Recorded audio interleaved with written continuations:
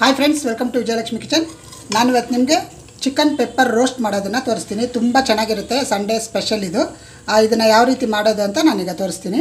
ಲವಂಗ, ಯಾಲಕ್ಕಿ, ಕಲ್ಲುವು, ಜಾಪತ್ರೆ, ಬಾತೆಲೆ ಒಂದು. ಇದನ್ನೆಲ್ಲ ಸೇರಿಸಿ ಪುಡಿ ಮಾಡ್ಕೊಳ್ತೀನಿ.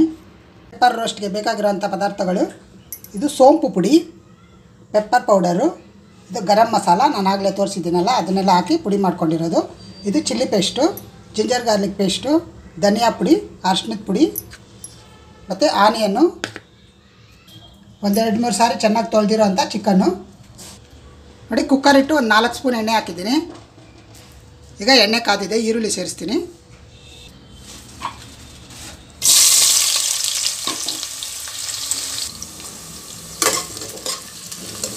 ಈರುಳ್ಳಿ ಎಲ್ಲ ಚೆನ್ನಾಗಿ ಫ್ರೈ ಆಗಬೇಕು.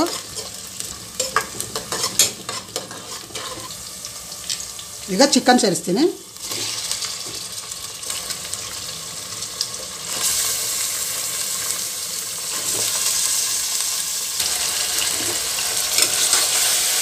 ಸ್ವಲ್ಪ ಎಣ್ಣೆಯಲ್ಲಿ ಚೆನ್ನಾಗಿ ಫ್ರೈ ಮಾಡಬೇಕು.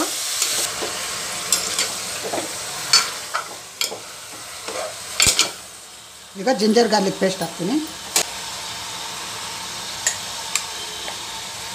ಒಂದು ಎರಡು ಸ್ಪೂನ್ ಅಷ್ಟು.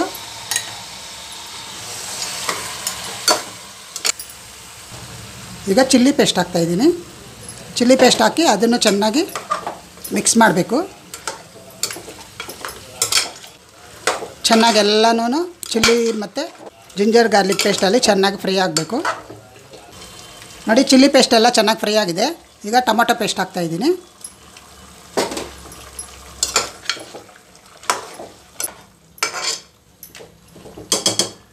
ಈಗ ಇದಕ್ಕೆ ರುಚಿಗೆ ತಕ್ಕಷ್ಟು ಉಪ್ಪು ಸೇರಿಸ್ತೀನಿ.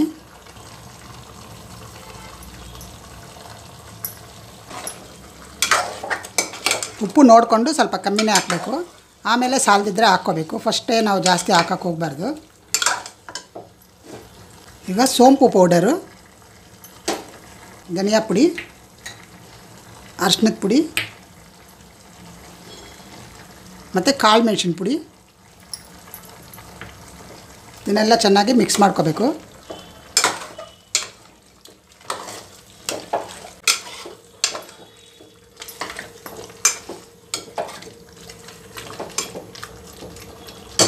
ಸ್ವಲ್ಪ ನೀರು ಹಾಕಬೇಕು.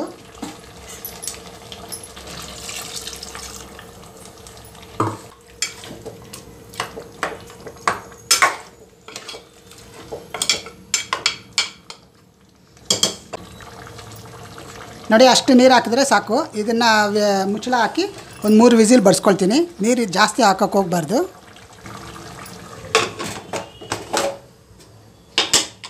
ಇದು ಮೂರು ವಿಸಿಲ್ ಬರಲಿ.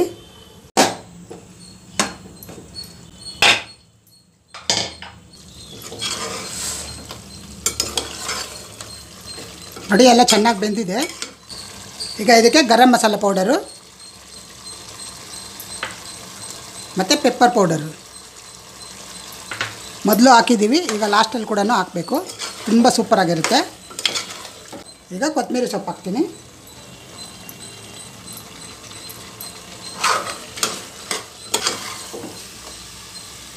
ನೋಡಿ ಚಿಕನ್ ಪೆಪ್ಪರ್ ರೋಸ್ಟ್ ರೆಡಿಯಾಗಿದೆ ಈಗ ಸರ್ವಿಂಗ್ ಪ್ಲೇಟಿಗೆ ತೆಗಿತೀನಿ. ನೋಡಿ ಚಿಕನ್ ಪೆಪ್ಪರ್ ರೋಸ್ಟು ರೆಡಿಯಾಗಿದೆ ತುಂಬ ಸೂಪರಾಗಿ ತುಂಬ ಚೆನ್ನಾಗಿ ಬಂದಿದೆ. ಇದೇ ರೀತಿ ನೀವು ಮಾಡಿ, ಎಲ್ಲರಿಗೂ ಇಷ್ಟ ಆಗುತ್ತೆ. ಓಕೆ ಫ್ರೆಂಡ್ಸ್ ಆದಷ್ಟು ನನ್ನ ವೀಡಿಯೋನ ನೋಡೋರು ಲೈಕ್ ಶೇರ್ ಸಬ್ಸ್ಕ್ರೈಬ್ ಮಾಡಿ, ಪಕ್ಕದಲ್ಲಿರೋ ಬೆಲ್ಲೈಕನ್ನು ಒತ್ತಿ. ನನ್ನ ಎಲ್ಲ ರೆಸಿಪಿಗಳು ತಕ್ಷಣ ಬರುತ್ತೆ. Thank you